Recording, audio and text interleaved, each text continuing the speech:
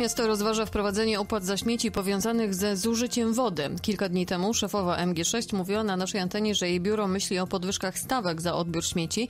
Okazało się bowiem, że podczas pandemii produkujemy znacznie więcej odpadów i stawka 24 zł za osobę niedługo może nie wystarczyć.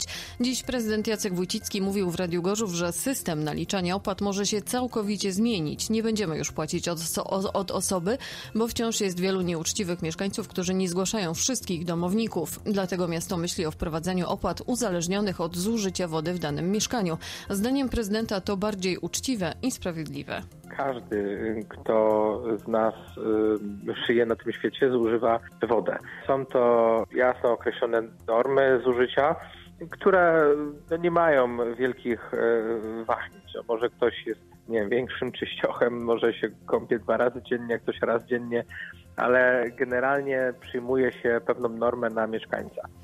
Prezydent uważa, że taki system sprawdza się w wielu innych miastach. Jest to dobry system, dlatego że po pierwsze nie mamy takiej sytuacji, w której ktoś e, deklaruje, że mieszkają tam dwie osoby, a faktycznie mieszka 7-8 osób bo po prostu po zużyciu wody widać ile osób mieszka. Z drugiej strony e, samotnie e, zamieszkująca starsza pani w 80-metrowym mieszkaniu będzie płaciła tylko za tyle, ile zużyje wody.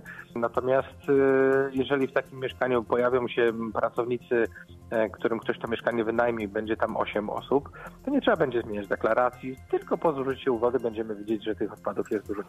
Prezydent chciałby, aby system naliczania opłat w zależności od zużycia wody wszedł w życie na terenie MG6 jeszcze w tym roku.